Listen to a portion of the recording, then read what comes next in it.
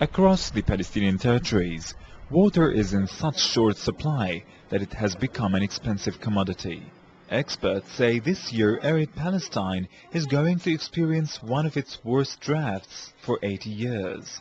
According to the latest report issued by the Palestinian Central Bureau of Statistics, precipitation has to exceed 125% of the annual average for the crisis to be averted.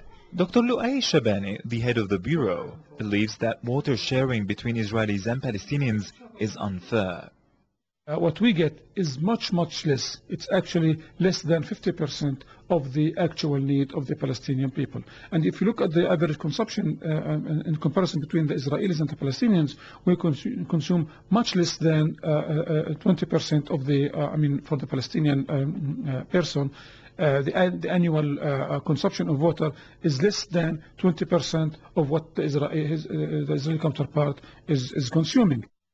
According to the Oslo Agreement signed in 1993, Palestinians can only have access to 15% of Palestine's water resources, with Israel being given a free rein to use the rest. To make the matters worse, Israel has even encroached upon water tables originally belonging to Palestinians and annexed some aquifers to settlements by erecting this segregation wall.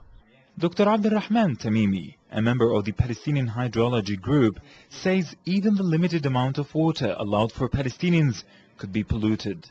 The Israeli settlements, most of them, they have no treatment plants and they release uh, their wastewater and especially the industrial waste, especially in Salfit area to the Palestinian valleys which is filtrate to the groundwater and uh, pollute the groundwater with heavy metals, with toxic materials and sometimes with unknown uh, pollutants. Most Palestinians have to buy water at high prices from Israeli private companies or they have to settle for untreated rainfall water, which is even very limited. The worst average rainfall was recorded this year in the West Bank city of Jericho, where the Dead Sea is shrinking. Since the year 1930, the water level of the Dead Sea has receded by about 25 meters. Many Israeli and Palestinian experts believe the Israeli industrial policies are to blame. The prolonged water crisis has greatly worsened the situation for the Palestinians who have been already beset by the Israeli checkpoints and expanding settlements. It's a matter of hunger and thirst. Over 200,000 Palestinians get network water only four times a year. Even this sometimes is restricted by Israel.